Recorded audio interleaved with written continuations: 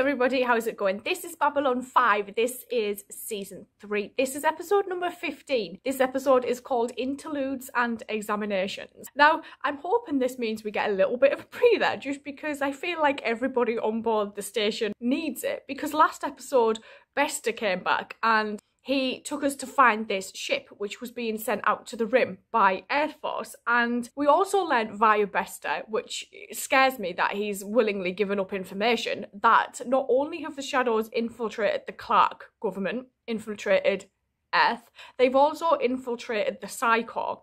And the weapon components that were being sent to the rim on this ship were actually people. They were telepaths.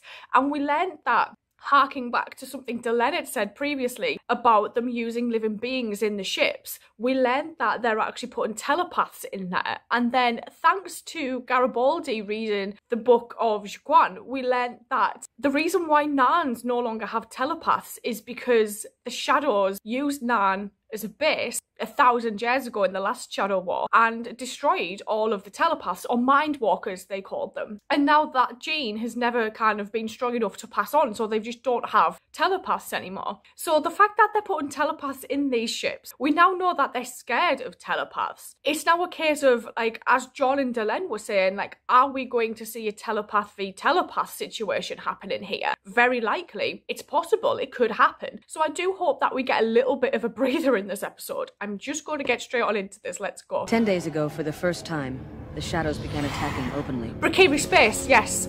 So far, they've been hitting targets close to the rim. The Oh. minor powers, few in the League of Non-Aligned Worlds. The attacks seemed totally random, almost senseless. Were they not random? If we thought it was nuts around here before, this has only made things worse. Oh shit.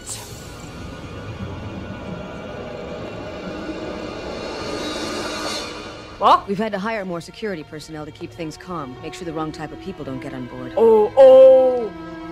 Oh shit. Oh shit. But without our resources back home for background checks, we have to assume there will be lapses. There's a lapse, Susan. I want you to rent a suite for me. The biggest suite in all of Babylon 5. Why? And I want it filled with flowers. Nothing is too good for her. Her? Her who? Adira. After all this time, she is finally coming back to me. We cannot defend ourselves against this new enemy without help. Is there anything that Earth can do? My people back home have their own problems right now. Including Since we declared Shadows. independence, we are not exactly in the position to ask them for anything. Everyone's on their own. Ah, I sometimes think that was the intent. They just wanted you to waste your resources fighting each other. thank We thought they recognized our value over theirs. It's not about value. Oh wow. It's. It's. I, I don't know what it is. I don't know what the shadows want exactly, but they are not on anybody's side but their own. Yeah. I've asked a representative from the Gaim to join us here because they are the closest major civilization in your sector of space. There are four other worlds in your area that could help the Brakiri. Oh. But they said they would only consider it if your people got involved. Will they? Will you? No. We need your government to continue its campaign. Yes? I don't think you have any interest in restoring the glory of the Centauri Republic. No, none at all. No. I believe that. I think you are using us as Expendable the forces. same agents of chaos. If you violate the terms of our agreement, oh. my associates may turn their eye toward your homeworld. If we could just score one victory against the shadows, it'd be enough to make some of the others come around. That's true, actually. Perhaps we should give them a victory. Oh, just like that? Just like that. And how do you suggest we do that? I love her optimism. I'm sure you'll think of something. It is on you, John. Every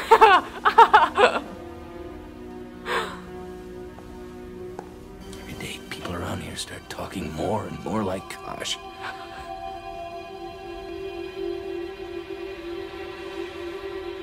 Display the following blood sample tests.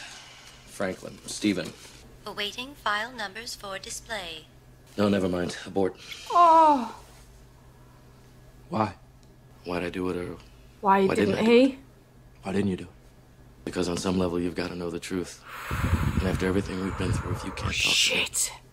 what the hell's the point? Now, if you can convince your government to send out an expedition to engage one or two of their ships. No. I know you Oh. can't take the entire shuttle That was by an yourself. emphatic no. But if you could beat them in just one fight, that could be the break we need to get everyone organized. You could do it, couldn't you? Perhaps. But there are still few of us.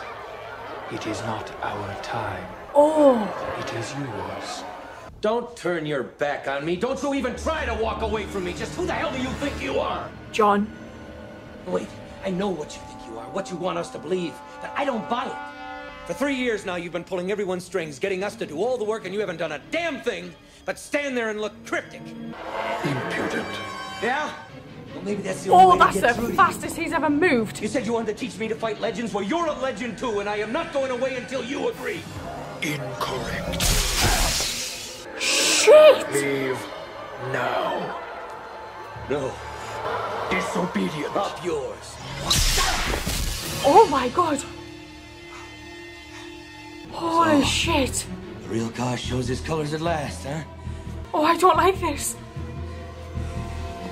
You angry now? Angry enough to kill me? Because that's the only way I'm leaving. Unless your people get off their encounter-suited butts and do something, I've got nothing to lose. Our only chance is to get the other races on board for this fight, and right now you're the key to doing that. Oh, it is not yet time. And who decides that time? You? You put me in this position. You asked me to fight this damn war. He did. Well, it's about time you let me fight it my way. How many people have already died fighting this war of yours, huh? How many more will die before you come down off that mountain and get involved? Colonies, whole worlds are being destroyed out there, and you do nothing. That's the thing, he could be doing things more when he goes How many more places. dead before you're satisfied, huh?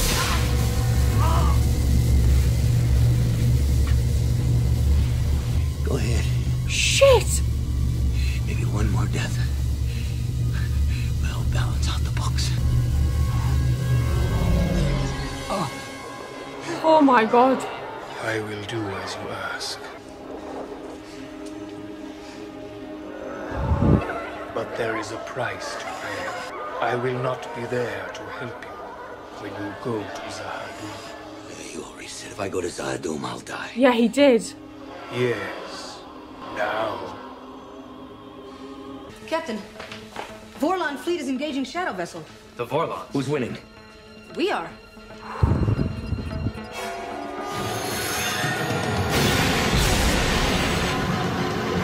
Oh man. Her name is Adira Tari. the purser found her in her cabin just before they docked. I'm sorry, Ambassador. Did you know her? Yeah. Why did you do this? Poison was always the instrument of choice in the Old Republic, being something of a sentimentalist. I got here first. Shit! I'm sorry, Ambassador. I'll see to it you get a full report. Check her for poison. Yes.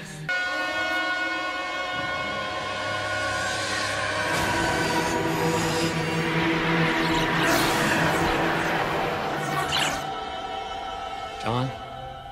Johnny?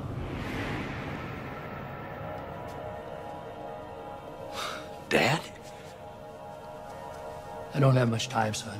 What's going on? I want you to know What's going on? you're on? right. I didn't want to admit that. Just pride, I guess. That it had to be done. Don't blame yourself for what happened later.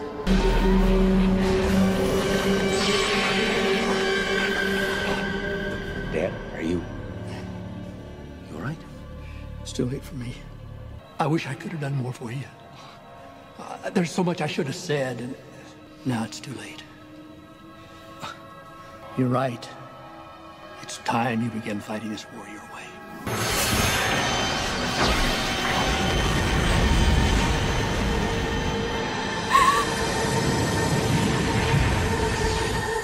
Gosh! Gosh! No sign of forced entry. Prints, no DNA fragments. The place looks like it's been through a war. No sign of a body. You will not find one. Then how do you know he's dead? I know. So did the Vorlons. Somehow. They asked us to keep this to ourselves. They grieve for the death of Kosh as much as we do. What are we going to do They can't just say he's left go again? for weeks at a time. That gives the Vorlons enough time to send a replacement. No one will know. He must have known this would happen. As soon as the Vorlons got directly involved. The Vorlon government made one final request. They asked that his encounter suit, everything that was his, be placed in his ship. Oh, Never. Everyone around me dies, Mr. Morden. Except the ones that most deserve it.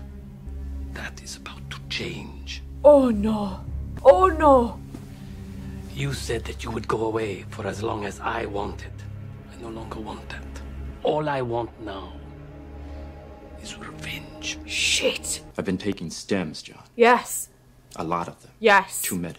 He's addicted. So, effective immediately, I am resigning as chief of staff of the MedLab facility. I'm not sure what I'm going to do. What? Guess I'll uh, figure it out. Look, I've got a lot to figure out, and it's time I got started. Once Kosh's belongings are loaded into his ship, it will activate itself. Oh. The ship was made for him. It was a part of him. In a curious way, it is alive. It cannot live without him. So it will grieve, as we do, in its own way, and perform its last duty in memory of Kosh.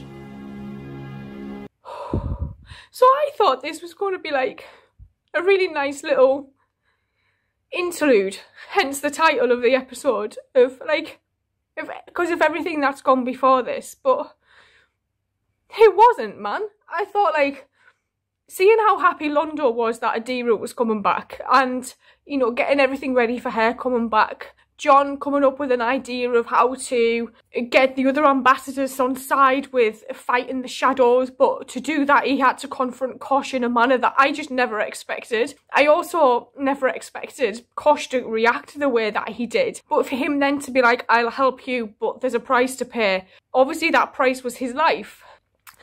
And seeing how you know, Morden was here and Morden interfered with Adira's visit, finding out all the information he could from that person that Avia had gone to see, who was arranging the flowers and other things, to then hear that the Shadows had lost because the Vorlons had interfered and the Vorlons were helping in Brakiri space for then to go see Kosh himself. And as Delenn said so many times, he's never on his own.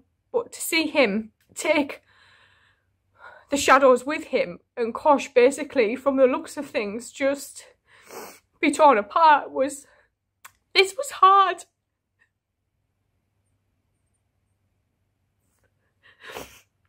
And I said at one point like when people are happy things go bad.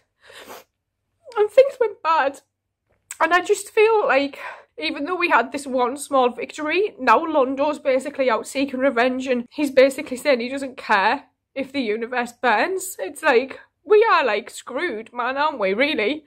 Because what we're going to do now, it's like, yes, all these non-aligned wilds have like signed on, but it's like, are the Vorlons even going to help us anymore? Because Delenn was saying that send somebody new, but I don't want somebody new. I'm going to sign off and say thank you, and I will see you guys later, so thank you.